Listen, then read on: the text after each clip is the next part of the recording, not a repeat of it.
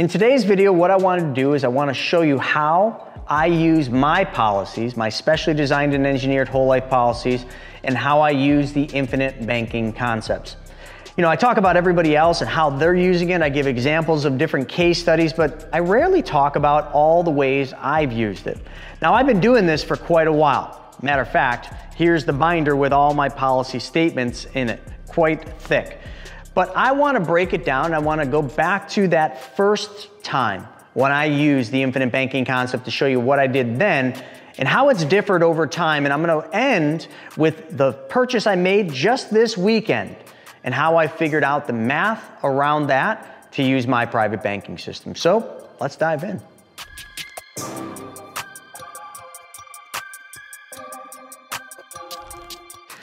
So like I mentioned, I've been using the infinite banking concepts for quite a while, but I've owned whole life insurance policies even longer than that. My first policy I bought was in 2004. You see, I was a financial advisor and I started as an advisor in 2003, dating myself a little bit.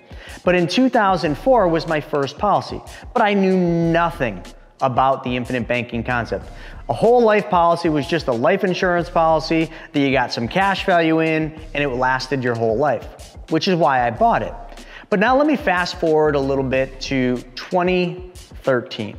In 2013, I was working with this one guy. Me and my wife were buying apartment buildings and flipping houses, and we borrowed a lot of money from private lenders. One of the private lenders' names was Mike. He lent us a bunch of money. I was in Salt Lake City on a snowboarding trip, and I remember I called Mike up and I said, Hey, Mike, I'm in Salt Lake. Do you think we can get together? I've got a deal I'd like to show you. Because I had a real estate deal that I needed money for.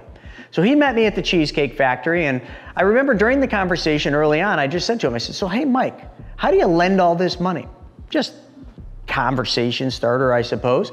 And what he said, I wasn't ready for. He said, Well, Chris, I lend from my private banking system. And I'm like, Whoa. Mike's got a bank. Holy crap, I didn't know he was that wealthy. And in my mind, I'm like, why are we at Cheesecake Factory? Let's go to your bank. Maybe we can get some dum dum suckers, kind of like those things. But he starts to explain to me, he says, I don't have a bank. I mimic what a bank does. You see, I changed where my money goes first. I put it into an institution that pays me guaranteed interest. And every year I get a dividend. And that interest and dividends grows uninterrupted even when I take money out and I give it to you. And it's protected against judgments and liens, and all the growth, if done properly, is tax free my head pretty much exploded. I mean, he did it slower than I just said, but each time he mentioned what it did, I'm trying to fit a little square box as an advisor. What is this? Is this a CD, a bank? What is he using? And I couldn't figure it out. So I asked him, I said, so Mike, what is this? And he says to me, he says, you should know. You're an advisor. It's a whole life insurance policy. I'm like, wait a second. No, it isn't. I'm like, whole life doesn't work that way because I knew what whole life was. Remember, I said I owned a whole life back then. And it didn't work anything like what he described because he explained that when he puts money into that whole life, he could take money out immediately in the first 30 days. The policies I had, my old New York life policies, which I have right here, my old New York life policies, like this one right here, those policies I had no cash value in the first year, none in the second year, and hardly anything to speak of in the third year. So this was all foreign to me. And he said, Chris, it's specially designed and engineered. So I asked him, I said, Mike, can you help me with this? And he said, no, you got to talk to this guy, Brent. He was alluding to Brent Kessler, you know, who's now my business partner. And Brent Kessler, I called him up and he's the one that had me watch the 90 minute video. The 90 minute video that I watched way back when was the video that showed me what the infinite banking concepts was, the process, not the product. I knew what a whole life was. I didn't know how to design it the way they did, but I knew what it was. He taught me the process. And that is where the story begins because the process, folks, is what's gonna make you wealthy. The process is what's gonna change your financial future. The process is what's going to get your problems solved. The product, the whole life insurance policy is just going to make it more efficient. Think of it as a machine. I love cars, and the engine is just part of the machine. But the engine is what makes it goes faster, what makes it more exhilarating, what makes that engine note. The engine is what I wanted. I wanted a machine, and that's what the whole life is. But when I first started, let me just show you, and I got this on the board, let me just show you how I did this. The very first policy I started with, now not my old policies, but the first specially designed and engineered policy I started, I remember it was a stretch. I remember sitting there with Brent Kessler, me and my wife were in Mexico, and we were talking about starting this, and I, I kind of just said, well, I think I can do $1,000 a month. Do you know how big of a stretch that was for me? Like that was literally like probably half of my budget that I had, maybe even more. So $1,000 a month is what I started that first policy with, and I did it with a company that he was selling at that time. And that policy was designed 60-40. Now I'm not gonna get into this, but let's just say 60% was going to paid up additions, 40% was going to the base. You see, as, as an advisor, all I knew about was the base all the old policies that I did, and there's other videos I've shown you my old policies, much like this one right here. This is one of my old whole life insurance policies right here. Okay, this is all base, 100% base. But when we specially design and engineer them, we put a majority of the premium deposit to a special rider called a paid up additions, which gives us high early cash value. So I put this $1,000 a month into this policy. My first goal, it's very important, if you're gonna start the infinite banking concept, you need to understand why you're starting this concept. Like, what are you gonna use this process for? You gotta solve a problem. My first problem, guess what it was? Debts. I had a lot of debt. Being a real estate investor, I accumulated tons of debt, credit card debt, lines of credit debt, HELOC debt. I had debts coming out of my ears. Literally, if you could just see this right now, I got debt coming out of my ears. So my goal, because I had seen the 90 minute video and in there he gave a, an example, a case study of a chiropractor that had $478,000 in debt. $5,600 a month is what he was paying. And they paid all that debt off in six years without him working harder, working longer, or taking on any additional risk. Well, that's what I wanted. I wanted to pay all my debt off. And I started with $1,000 a month. But here's what I did. On a quarterly basis, I designed a plan, okay, it was called my MAP. So the, the map that I had worked on a quarterly basis. So in three months, I had put $3,000 into the policy. So if I put $3,000 into the policy in premium deposits, because that, that's what this is, these are our premium deposits, that means I could have taken out about $2,000. So my map, what we did is we put my debts from lowest to highest. Okay, so I'm just writing this, lowest to highest. And I remember I paid them off. The first one, $2,000, I came over here and I don't remember what it was. I had lots of debts, but I paid off probably a credit card. There was $2,000 and I probably paid $100 a month to that credit card. But then what I did is I took that $100 every single month that I used to give away to that credit card and I put it back into my policy as a loan repayment. So every month I'm paying down the loan by $100. Remember, I took $2,000 out. This was the loan. And just so you know, folks, segregated bank account. This is just books and records. I'm putting money from the policy into a bank account, but the only thing this bank account is used for is books and records. So now I have record of $2,000, so that's the loan.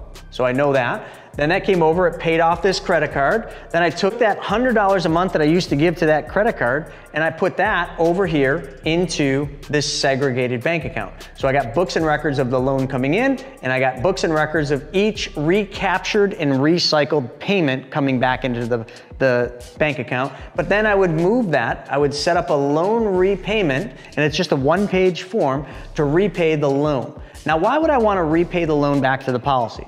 Well, when I take this loan, this $2,000 loan, back when I first started doing this, loan interest rates were 4%. So I would pay 4% to the insurance company on that two grand, which was fine because this credit card over here was like 20%. So 20% minus four, way better, right? I, want, I would rather borrow money at four than 20. Does that make sense? But now when I'm paying the $100 back, I'm actually reducing the amount of the loan. So I'm paying 4% every month on a lower balance, which means at the end of a year, 12 month period, you actually don't uh, you don't really realize a 4% interest rate. You realize an APR, an, an annual percentage rate, APR, you would notice that of being probably somewhere in the 3% plus range. Less than four because I'm being the bank, folks. Banks understand this. They do this every single day. But us as individuals, we're just consumers. We just use this. But see, I was learning how to take back the banking functions in my life early on. And this is how I did it. And I just kept going around and around and around until all the debt was paid off. Matter of fact, one of the big debts that I had was this one right here. This one right here, this line of credit, I remember this was my second policy I used to pay this off. This one was, it was a bank that I banked with, not gonna use their name. It was a line of credit that they charged me 9% interest on. And I remember I wanted to get rid of this thing so badly because every single month when I was making payments, I'd go online and I'd see how much interest the bank was charging me over the course of time. It was a lot. So I wanted to pay this thing off, but it was a $23,000 line of credit. So I needed to accumulate some money. Remember in the beginning, I only started with a thousand a month. Now the second policy was $1,500 a month. So now I'm saving $2,500 every month into two separate policies, not including my old New York life policies. So I had now accumulated 23 grand. So what I did is, if you can look here, on the left side of the circle, TMM policy, that's my policy. Okay, the 23,000 is the loan, the segregated bank in the middle, remember books and records, and the loan pays the line of credit off. That's the opportunity. The loan is the opportunity. To a bank, a loan is an asset, folks. When you are the bank, like I'm showing you how I did, being the bank, the loan is an asset, not a liability.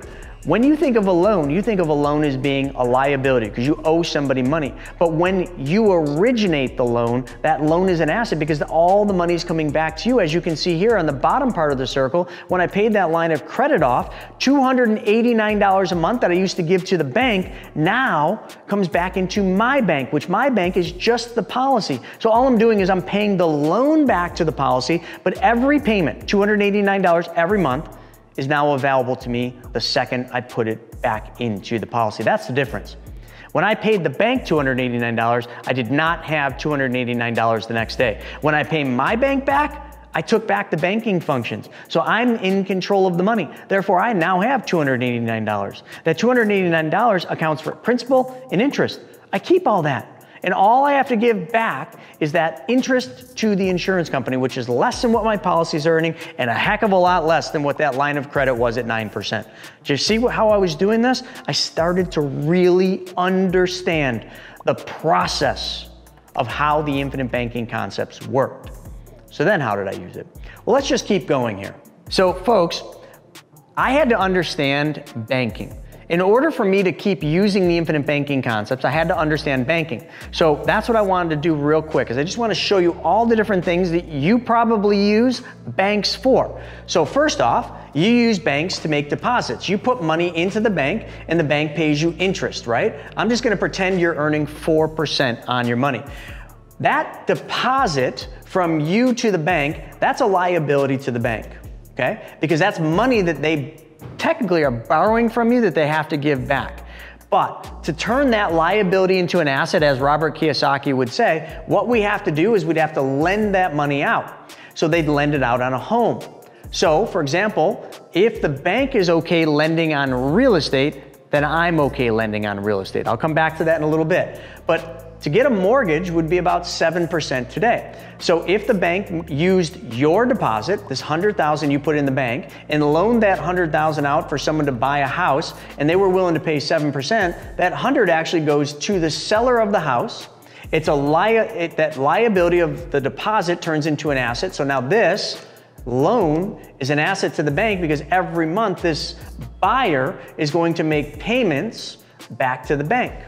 Okay? So the seller puts all the money back in the bank, which is the coolest thing because they've been taught to do this. Now, the bank gets another 100 grand. So what are they going to do? They're going to take that liability and turn it into an asset by lending it out on a car at a higher rate of 8%. Okay? That car then is bought with a loan. The dealership gets the money, puts that 100 grand back into the bank. They lend it back out to somebody doing a home remodel. That's 9%. Why? Well, because it's a second lien. It's higher risk than the original first lien position loan. So that 9% pays the contractors. Contractors put the money back in the bank. See, every single time the bank's just getting money in, sending money back out. Taking money in, sending money back out. I want you to think as if you're the bank. Keep that in mind and then lends it back out on debt consolidation, pays the credit cards off, takes the money, puts it back in. Everything that the bank did here was to make money. Because if the bank paid you four and the bank charged you 7%, the bank made a 3% spread. And as we go around, if they pay you four and charge seven, charge eight, charge nine, charge 12, if I were to add all these up, the spread is 20%. So the bank made 20, you made four. The bank made 500% more than you did because that's five times more. All I did this little bank example for is so you understand how a bank works. Now we got to change one thing here, folks. If you're going to be the bank like I did, you have to write your name here. So all I'm going to do is I'm going to write Chris's bank. I do everything here. You see, I deposit money I deposit it into my bank. My bank just doesn't have the name of a bank on the top. It has the name of an insurance company like this one right here. This is my bank, folks. This policy, this is a whole life insurance policy.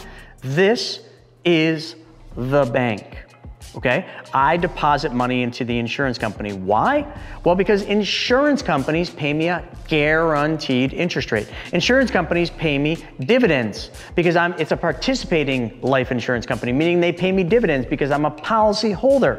And those dividends and interest grow tax-free. Remember all the stuff I said earlier about Mike?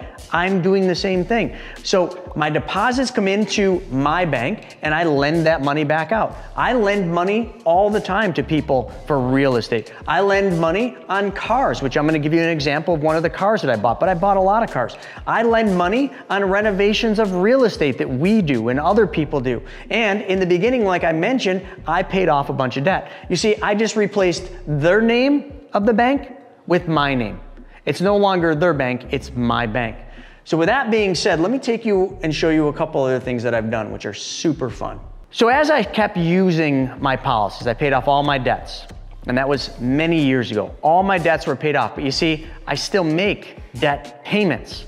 I still make payments just like I did before. I still have car payments. I have a car payment on this Porsche, that Porsche, the new one I just bought. I have two Mercedes cars in the driveway. I pay payments on those. See, I still make car payments just like you make car payments. I had Visa, I had Amex, I had a Southwest card. I had debts on all of those. I paid all those credit cards off, but guess what I do? I still make the same monthly payment that I used to make to the credit card, but I make it back to my bank because they're no longer liabilities, they're assets. The policies, the loans I took from them, remember I said, here, I put that money in, and today I put hundreds of thousands into my policies, but it didn't start there. So remember, I'm making premiums into my policies. Now I have a lot of policies now, and my premium deposits that I make hundreds of thousands of dollars per year that I put through my banking system. But I didn't start there. I started small and I worked up to that. And you will do the same thing. So today, uh, some of the big things that I do is I take loans from my policies and I loan those out on Private Money Club. So Private Money Club is, is a dating site for money. I created it. It's, it's where people with money, like people with policies that have cash value, that, and they meet people that need money. And it's all real estate right now. So I find people on Private Money Club that are looking for money, just like I used to, for their real estate deals. I lend between 12 and 15%. So I might take a loan from my policy. I'll just give one that I just did. Okay, I came in on a small deal. It's a Florida deal. They needed 50,000 bucks. You might say you can't buy a house in Florida for 50 grand, which you're right. They put some of the money in it. I came in and backfilled it at 50,000. I took a first lien position on this and I lent it out at 12%. And it's a company called Rude Real Estate. I've lent them a lot of money. You can look them up on Private Money Club. Then that $50,000 at 12%, let's just quickly do the math on that. Some of you probably are doing it already, but 50 grand times 12% divided by 12, that's $500 a month. Definitely could have done that in my head. $500 a month is how much he's paying me. I take that $500 a month, I run it through, remember over here, 50K came in, that was the loan, books and records in this segregated bank account, lent that money out, then I take the 500 a month he gives me, I put that through the segregated account, but then I set up a loan repayment for $500 back to the policy. Why the loan repayment? Some people would be like, well, why don't you just keep it in the bank? Well, I don't want the bank to use my money. I want my bank to get that money back. Every time I make that $500 loan repayment back to the policy, that's $500 I have to use the next day. But not only that, if it costs me 5% now to borrow from my policies, every month I'm paying the principal back to the insurance company, so they're charging me 5% of a lower balance. And every step of the way, my cash value in the policy is going up because this is in uninterrupted compounding interest. So now that you understand the concept and you're seeing how I'm using it, I do a lot of this. I do a lot of lending. But you know what else I do? I invest money from it. So not long ago, I did a video on YouTube where I showed how I am buying treasury bonds. So treasury bonds are very unique, but it's a, it's a, it's an IOU, a debt issued by the United States government. They're guaranteed by the full faith and credit of the United States government. So I took loans from my policies. I bought treasury bonds from the government. The government paid me over 5% on those treasury bonds. I can't remember the exact amount, but it was over 5%. I took the interest that I get, which they pay me quarterly, and I roll that money back into the policy. So that's another way I've, I've used my policies. But my favorite way to use policies is to buy cars. Every car that I mentioned, now I'm not bragging, okay, but I, I, I love cars, I do. So we've got a really nice uh, SUV for my wife, Mercedes' biggest AMG version. I've got a G63, which is the G-Wagon, as you know, the AMG one. I've got three Porsches now. All of those vehicles were all funded with my policies. Now, I didn't get there quick. You notice I was highly in debt when I first started this in 2014. And now I'm buying cars with it. Why would I buy cars? Well, let me show you the main reason why I love teaching and using this to buy cars. Not just because I love cars, but I also like getting money by driving. A, a, I like getting paid to drive cars, and that's essentially what it is. All right, so this one's a little bit more complex, and I've only done this once, but let me just give you an example. Let's just say the G-Wagon was 170,000 bucks. Now folks, I'm just using my examples. This video is about my examples. Whatever kind of car you buy, I bought lots of cars. My first car I bought was only like 20,000 bucks through the policy. I've just grown with it. And as time's gone by, I've made more money through interest and dividends in the compounding nature. So I just have more money. So now, if I were to buy a $170,000 car, let's just say that's about 3,000 bucks a month. Okay, whoops, sorry. 170, that would mean I'd have to have $170,000 in cash value, which I clearly did. I took the loan for the 170 and I bought the car. So let's just, let's get rid of this. Over here, we'll just draw a G-Wagon. They're pretty simple. They're just a box with a couple windows. So there's my G-Wagon. So I bought the G-Wagon. Now, remember I said the G-Wagon, if I were to have financed or leased that, would have came with about a $3,000 a month payment. So I take the $3,000 that I would have paid to the finance company. If you do this, all of you do, because you buy cars, when you buy a car, that money you pay, that car payment, okay, that's what this is, car payment, is gone. Every month you pay it to somebody else's bank, and every month that three grand or whatever your car payment is, is gone forever. You'll never get it back because the car will depreciate, it will be a loss. But you see, I changed the dynamic. I started using my banking system. I took back the banking function. So here's how it works each and every time. And in the 90 minute video, I give a car example showing you how you get all the money back for every car you buy, drive, and own. I've done this continuously over and over and over again. So here, if I make a payment of $3,000 a month back to my policy, remember books and records, so three grand a month comes in here and three grand a month comes over here. Because this is my bank, I keep this money. The 3000 a month that I make a payment on every month, I get to use that money again. When as soon as the payment comes in, that 3 grand's in my policy. But because I do this, if you just did the math on this, $3,000 times 60 months, I don't I probably didn't do the math right, but let's just see if I got close. Times 60 months. Yeah, I did do it. It's 180,000 bucks. I'm just rounding numbers here, folks. I think my payment's a little over 3,000, but that's $180,000. If I paid 170 for the vehicle and I pay myself $3,000 for 60 months, the average term that somebody would finance a vehicle, I pay my policy back $180,000. So how much money did I make? Some of you are like, well, you paid 170, you made 180, you made $10,000. Wrong. Okay? That's how much money I made, but that isn't how much money I made that G-Wagon has value. Even five years old, that G-Wagon's gotta be at least be worth 120. So the residual value, let's say is 120. So if I sell that G-Wagon that I got all the money back for, plus 10 grand, is that pure profit? Yeah. So now I got a value of the G-Wagon if I sell it for $120,000. But not only that, my policy, the cash value in the policy started at 170, but I took 170 out. How much was left? 170 because I didn't use my money. I used the insurance company's money. They lent it to me. They lent me part of my death benefit. So I made interest and dividends on 170 grand for five years. How much was that? I don't know, but this is one of my old policies that I did a video on, and this is the 16th year, the, this year, which is 2024. Folks, you can look at this.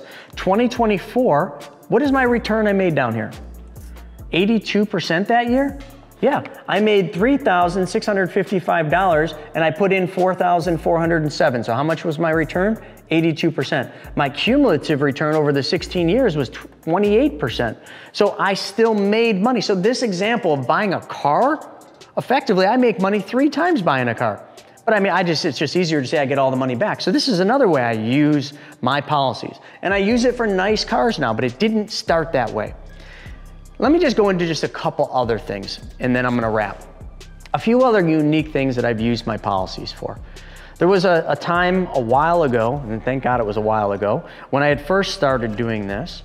Shauna, who's my director of operations now, she comes into my office and she had this somber look on her face. And she says to me, she says, Chris, should I look for, start looking for another job? I was completely confused. I thought things were starting to get better. They weren't great, but they were getting better. I'm like, what do you mean? Why? I was super nervous. Like if I lost her, that was my only employee. And she, and she says to me, she says, well, because I got my paycheck, because we mailed her a paycheck. And she says, and I looked at the bank account, because she used to, you know, just keep tabs on the bank account. And she's like, there's not enough money in the bank account to clear my check. I'm just wondering, should I start looking for another job? Now, I was kind of confused. First off, I didn't know there was not enough money to clear her paycheck. I knew it would be tight, but I said, nope, just give me a couple, give me a couple minutes. I'll have money back in the account. I quickly logged into my policy, this one right here that I just showed you. I logged into that company. I clicked max loan. I had that loan put right into that bank account. So 36 hours later, I think it was a little less, the money shows up in the account. She sees it and she's like, awesome. She doesn't need a new job. I don't need to go hunt for a new director. And she said, How did you do that? I said, My own banking system. I took a loan from my banking system and I lent it to the company. And my company then paid back that loan with interest. I charged my company 6%. Money isn't free. So I charged 6%. So remember, if it cost me 5% to borrow the money and I charged 6 to my company, what did I make? A spread. That's exactly how a bank works. Think just like a bank. So that's one unique way. But there was another really unique thing that I did. So our company relies heavily on a commercial printer. You know, one of those big printing machines that scans, it staples, it slices, it dices, and it prints. Yeah, those things. They're not cheap. And most companies lease those. So we had leased it back prior to me doing the banking system, and those leases are usually three years. Three years had gone by the salesman with his brown suit and his striped brown and tan tie walks in and he says, Hey, you know, listen, your machine's outdated, but I got good news. I got this brand new machine and you can have this, and your lease payment only goes up $20. And at first, I'm like, Oh, great. Wow, we get a new machine.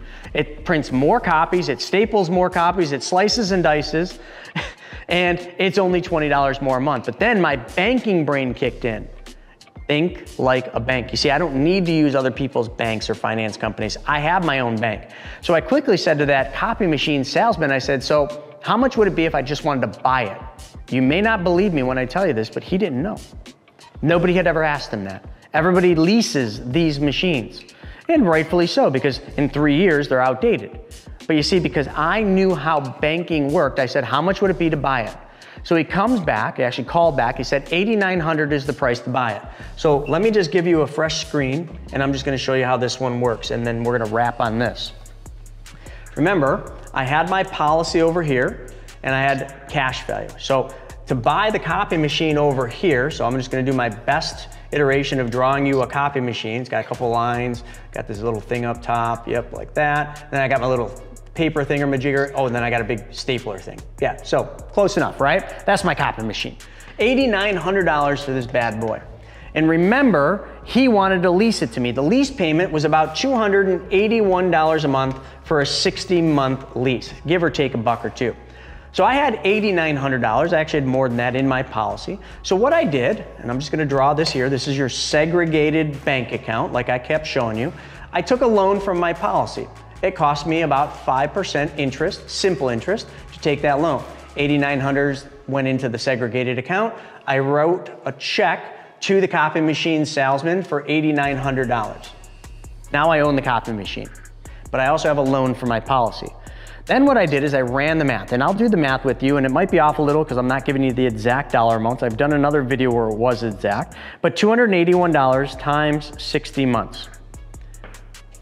$16,860. I think it was a little less than that payment, but we'll just go with that. I took this $281 a month.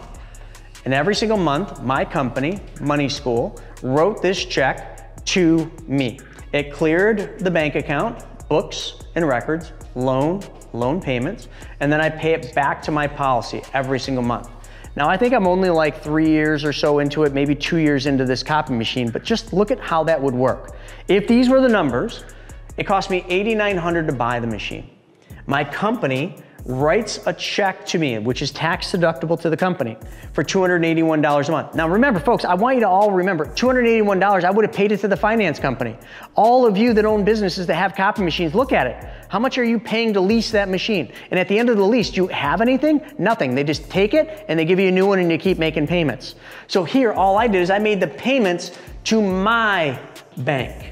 $281 a month. And if that was the, the lease amount, and I don't remember the exact amount, over five years, it would have been 16,860. So if you subtract that from the $8,900 minus 8,900, $7,960 in net gain. But is that all that I made?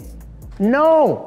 I own the banking system. I control the terms. I control the money. So I make 7,960 in the copy machine, plus I had $8,900 compounding the entire five years. What was that worth? I don't know, quite a bit. And then not only that, I got a stupid copy machine. So this copy machine after five years, it's definitely not worth 8,900, but you think I could sell it for 500 to 1,000 bucks? You bet your sweet ass I can. So if I sell it for 500 to $1,000, how many times did I make money? Because I changed one thing. I changed where my money went first many years ago. I added one step, which is this process, this circle that I keep drawing over and over, which is called the infinite banking concept. I made money on the policy. I made money because I normally paid interest to the finance company, so I made all that. Plus, I had a copy machine worth money that was bought and paid for. Folks, these are just some of the ways. It's called the infinite banking concepts because it's infinite in what you can use it for. You can use it for anything, vacations, taxes. I am only telling you the things I've used it for. I've used it for real estate, for lending, for paying off debt, for buying copy machines, for paying my company money when it needed it for payroll, and, and all the other things I mentioned. How many more things am I gonna use this for in my life? A lot. I hope you guys have enjoyed this video. I got a chance to kind of go back and revisit the past on how I've done this, but you know what? It's not important what I've done, it's important what you're going to do. What is your next step? If you're interested in seeing how this works, what you need to do is right in the top, in the bio, there's a video. Watch that 90 minute video. I did, and it changed my life, and it will change yours. Book a call with us. Not only that, right down at the bottom, click that subscribe button. There's a little bell at top. Smash that bell so you're notified. You see that? It hit my mouse and pulled up a bunch of cool things. Smash that little bell so you're notified every single time I put up a new video. Hopefully the mouse didn't break because every time I smash this thing, I seem to break something. But with that being said, folks, check this video out. It's the remastered 90 minute. It's called Secrets of the Rich. Thanks for joining me. We'll see you next time.